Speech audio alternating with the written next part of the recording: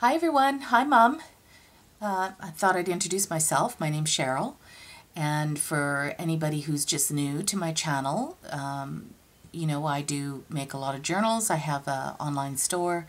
I design a lot of my own papers.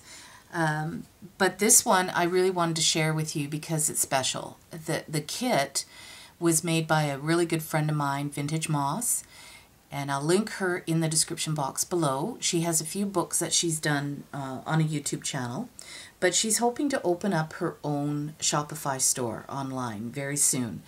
And this is just a taste of the kinds of things that she does. She's very talented. She's a graphic artist. So, um, yeah, look for her. Make sure you subscribe so that you get the notices when she um, puts up a book or a new kit or whatever. Um, so this book is, you know, typical for me, the same size approximately, which is five and three quarters by eight and a half. So it is done with a gutted book. I just get them at the dollar store. Dollar Tree carries, I think they're like a, in Canada, I think they're $1.25 just for the book. And then I just gut them and use the covers. I've done the hitch post, which is also typical for me, as well as the cross-stitch binding, typical for me. Um, but what I've done a little bit differently, I absolutely love her images, I'm telling you. This was um, something she had printed out on cardstock when she was visiting. She just left it behind. She didn't need it. Her book was so full she couldn't get anything else in it. So she she knew I was going to be making one. She left me a bunch of stuff. Anyway, it's out of cardstock, but what I did a little bit different was I did paint, and that is the Viva, Viva Gold paint. Uh, I believe it's called bronze.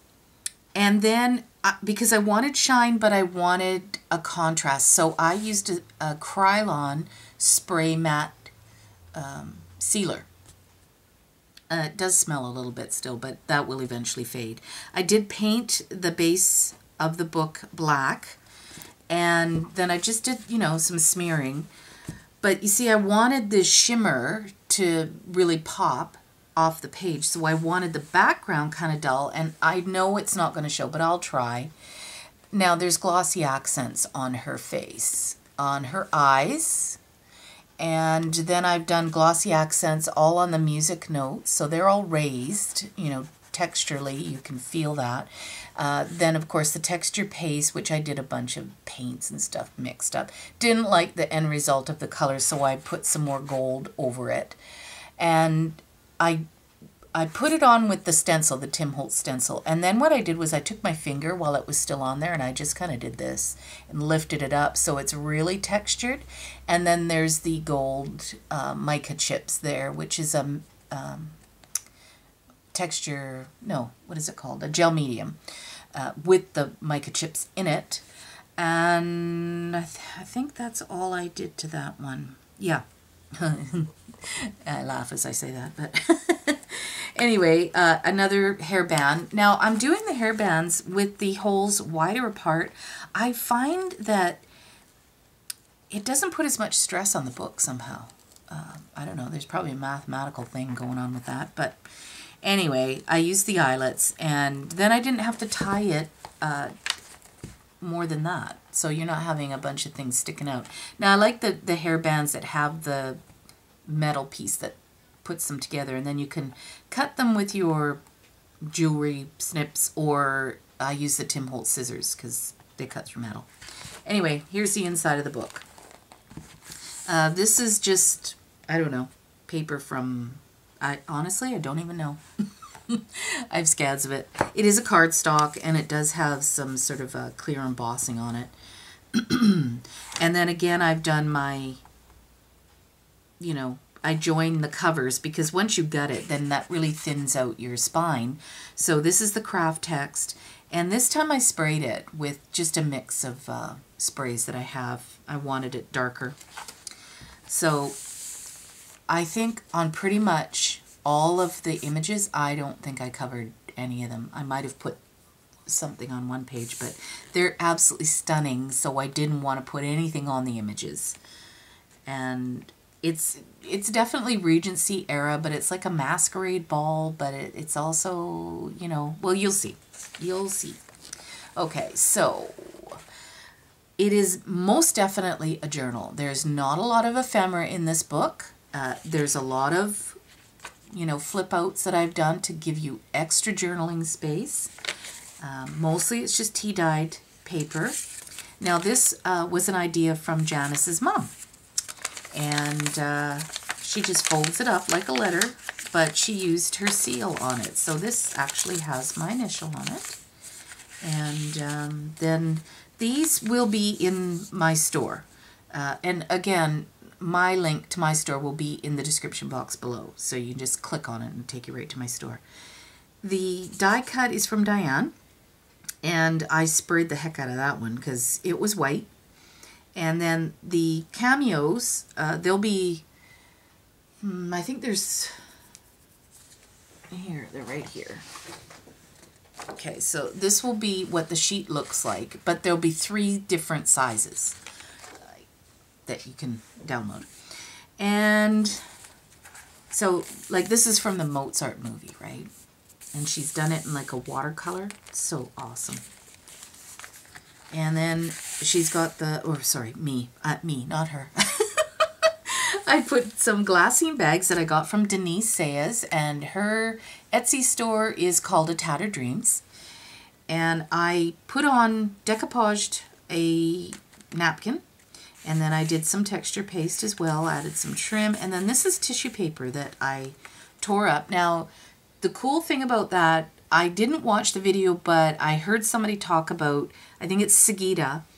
So if you take a napkin and you have the image that you like, instead of like kind of trying to tear, take a little, I, this is what I did anyways. I'm not sure if what she did, but she used water is what I heard. So I took a little paintbrush with the tiniest little bit of water and you have to go quite a ways away from your image because especially on a napkin, it wicks up really fast and you might end up destroying some of the image that you intended on using. So go away from the image and then it just pulls apart. So you get that neat tattered edge, let it dry, and then I just ink the edges. Now this is tissue, so I used a little bit more water because it's thicker, but did the same deal. Now it's a nice big pocket, and in that pocket, I'm going to put this. I didn't finish it. this was one that um, Janice made, but I added some trim to it, and I was intending on making like a mini journal out of it. But I ran out of tea stain paper. So, and it's honestly, you guys, it's so hot here. Um, yeah, we've got all kinds of forest fires going on and stuff. So I'm not putting my oven on. But I will include it in the book, and that way, you know, you can do whatever you want with it. Um, so it'll go in the little pocket here. It's perfect. I did a bit of stamping. That's it. Um, so this is one of my favorite pages. I absolutely love this page. I love the pearls in it, and oh, it's just, it's beautiful. So you can see, oh, in the back page here, this is one of my journal pages. It just went really nice, and you can find that in my store as well. Now, this is inspired by Janice, um, who's Vintage Moss. She does a lot of this kind of thing. I painted some curtaining with just acrylic paint. I did front and back because it was white. And then I went over spots with a texture paste that has the shimmer in it. And it's absolutely gorgeous. But it stiffens the lace up. So you get a really lovely pocket and it makes it easier to glue onto your page. And I added some black trim up here as well. And then I had overprinted. I did extras. So I used some of it to just make a little envelope and then another cameo on there. And then inside, this is more extras that I had. So I just glued that with a glue stick onto an index card that I cut down to fit into the envelope.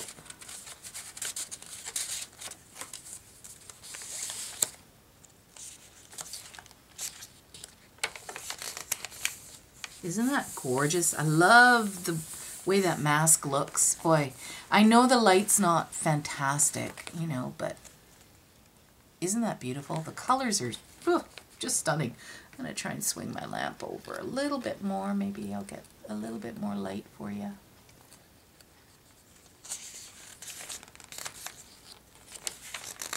And I believe this is um, Mozart's wife.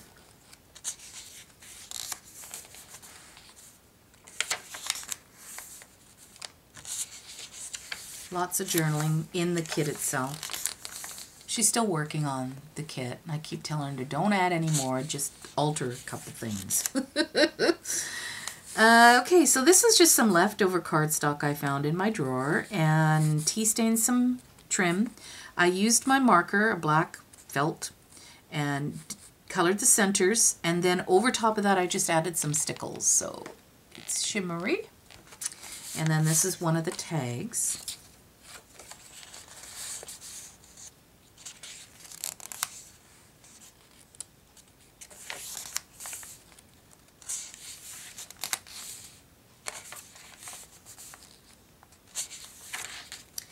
Added a flip. And then there's a couple more tags. Now, um, this is the, the size that they print out. I made a couple smaller.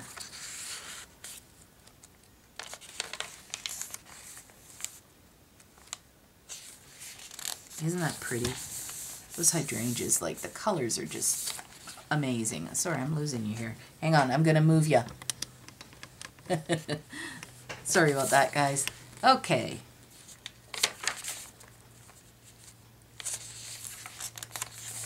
I love this page too. And now this is one of the tags that she left for me. It's really heavy. It's nice and thick. So, fits in here, which I've done. I wanted to show you how I did that, so I did a smaller version so that I could show you. Just cut a strip of cardstock and glue it to the back of your doily. And then the edges of the doily, I've got some texture paste that I'd mixed up with some paint. So I just rubbed it on there and that kind of makes them a little bit more stable. And then I cut a separate doily, layered that on. And then I used one of the cameos, which is covered in, sorry, glossy Let's see if that, there you go. So she's all raised and anyway, that's how I did that. Glued that on so it became a belly band. This doily here I did paint, and these also were from Diane.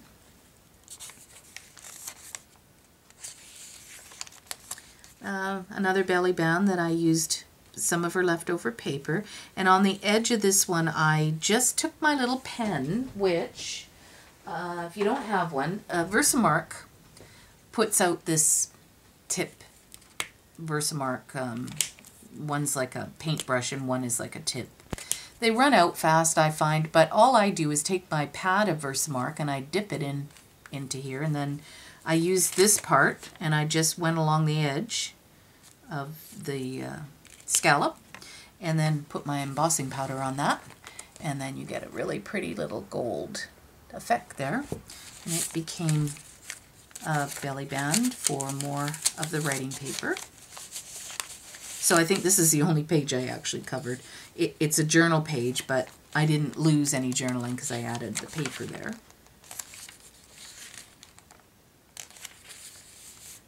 Another flip on that side. Isn't that... Oh, I love these pages. The colors. Oh, man, I wish you could see the colors better than what my camera is going to show. They're so rich and vibrant, and she's got a thing about harpsichords, so.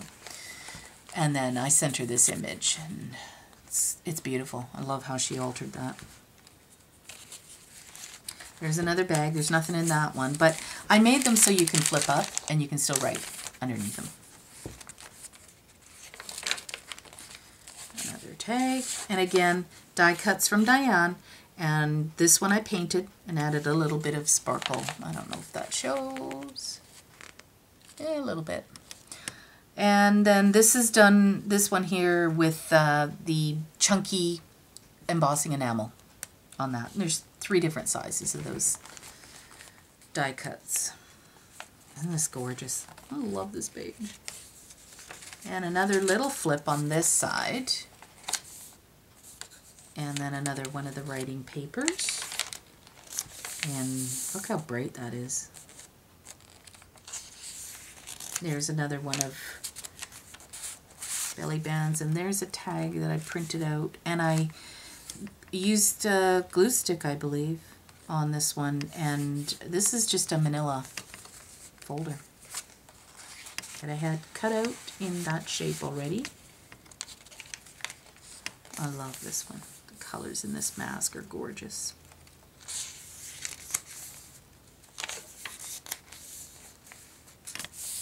So rich. And you can't help touching it. this one's cool. I love this one, this whole face. So beautiful. And how she did that. It's like a tattoo on her face. I love it. And there's another big flip on that one. This one's called The Proposal.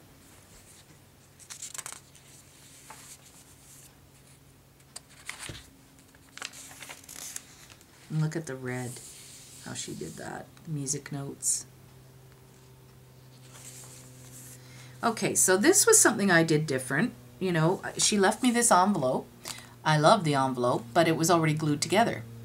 And I wanted to use it to cover my stitching. So all I did was cut a strip of this paper and sewed that in. Once that was sewn in, then I put a strip of tape on the bottom of the envelope, taped it to the inside, and then glued the rest, closed it up, and now you've got a flap. So you can do that with any envelope that you have. And then in here is my information, and then there's a couple more tags.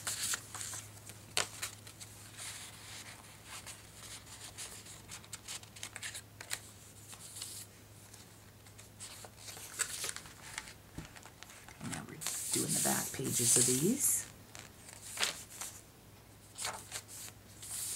Lots of writing.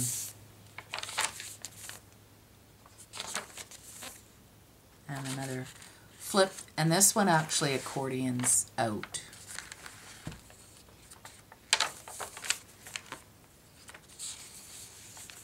Oh, look at the jewels in this one. Not beautiful? This big violin here.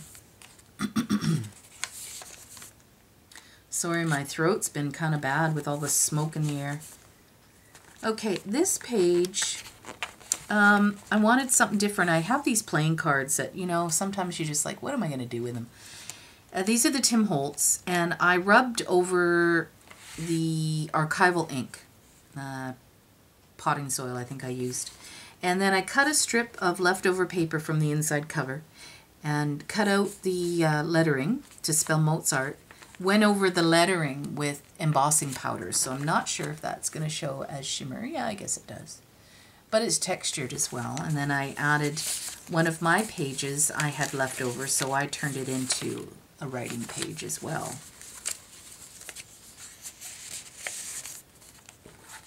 I like how that turned out. Okay, so that's page two that I covered over. But I didn't really.